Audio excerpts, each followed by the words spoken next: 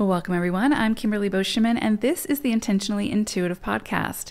In this episode, we're going to take a look at the forecast for May 2023 for each life path number. Now, if you're interested in sort of an understanding of the collective energy for May, as well as your own personal month forecast for May, which will include the moon, uh, the full, and the new moon, which is also includes the eclipse that's coming up in May, then make sure to check out your personal month forecast, which will be coming uh, for the month of May towards the end of April. So keep an eye out for that. Know that the calculations for the personal months are different to the life path energy. So um, make sure that you uh, do your calculation before you listen to that. If you missed your personal month forecast for April, those are up. So make sure you have a listen because it also includes eclipse energy that we're going to be working with for the next three to six months. So that's important.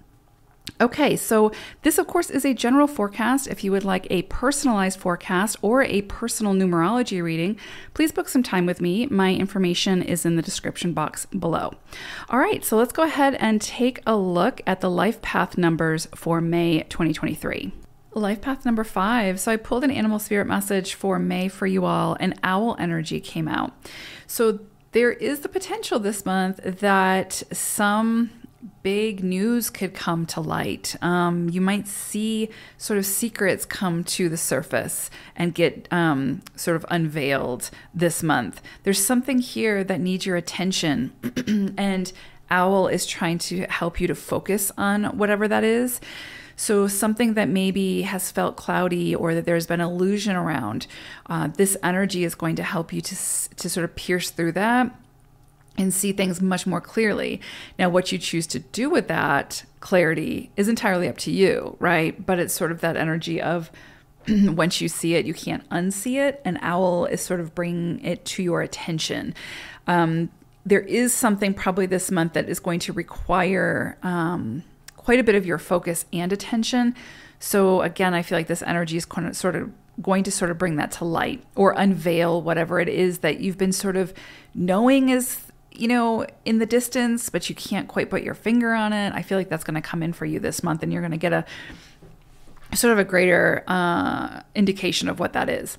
There's also this potential when we see owl energy of some kind of prophecy, some kind of prophetic dream or um, prophetic insight that could come in. Now, of course, not for everyone, potentially. This is a general reading, but with owl energy coming through, there is something potentially where it can come in like a lightning bolt and you know you're going to be asked to make a move on it or do something. Um, and so of course follow your intuition.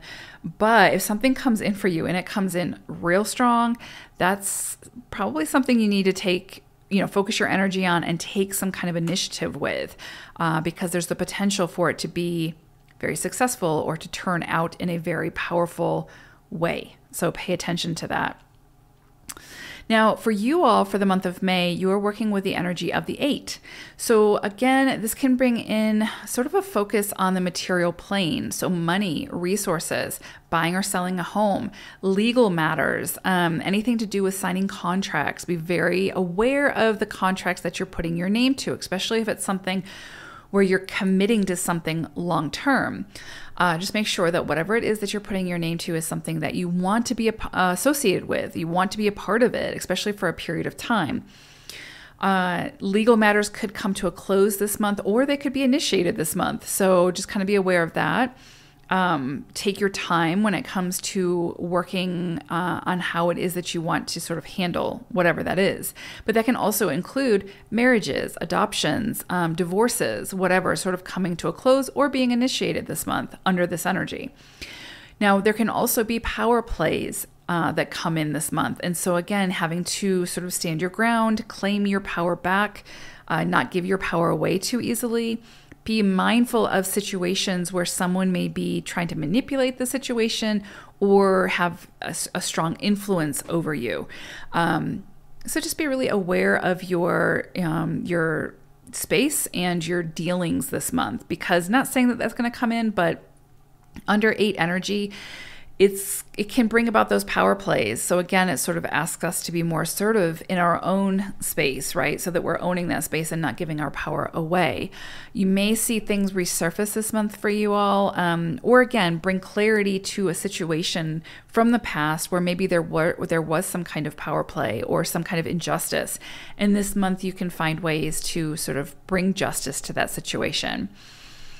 Uh, let's see, this is also a great energy for, again, sort of the channels being sort of wide open to a higher realm, to your spirituality, to your higher consciousness, uh, which is where that sort of prophetic uh, dream or prophetic, you know, download can kind of come through for you. And then, whatever that is, more than likely, you're going to be asked to do something with it in the physical, something to do with potentially building something or, um, you know, any of those things we talked about as far as power, status, money, resources, legal uh, situations, etc. So, you might get some really deep insight onto something again that has to do with your physical possessions or your um, how you sort of move through the material world that could come in this month as well so a lot of focus again on power status resources money um, how you work with your money how you manage your money how you how you um, receive money, all of these things, your mindset around money. And it doesn't just have to be money, it can be around power or resources. Um, you also may find that you are put into a leadership role this month, and that leadership role is asking you to use your expertise in guiding another, right? In in sharing your expertise, your wisdom to assist or help another in some way. Uh, that's very, very possible. So you might see some kind of um, promotion or something like that. Or if you start your own business, you might see an influx of clients uh, or people coming in that want your expertise. this is a great month to be able to share that and to find your confidence in how you share that. Um, because the expertise, the wisdom that you have, the world needs that. Someone needs that wisdom. So you might find this month that more people are coming in. So you might get clients that come in, a lot more clients, or again, you might get some kind of promotion within your business that or your job that helps you to share that wisdom and to be that expert and to share that expertise. So don't shy away from that if you have that opportunity to do that. Um, So, yeah, the other thing is the owl energy is asking you to focus your energy on something to sort of be very attentive and very, um, yeah, just like sort of laser focused on something, uh, which sort of goes against your sort of five energy of sort of and the eight energy of sort of a bigger ener- a bigger vision, right? With eight energy, you're going to see the bigger vision and you're going to want to go towards it. The owl energy is asking you to focus that energy, like stay focused on whatever it is that you want to move towards. Just don't lose sight of the, the details, right? Hold the bigger vision and pay attention to the details to help get you there. Uh, if you can do that, this can be a really, really powerful month for you all. So I hope it's a great one. Take care, everyone. Bye for now.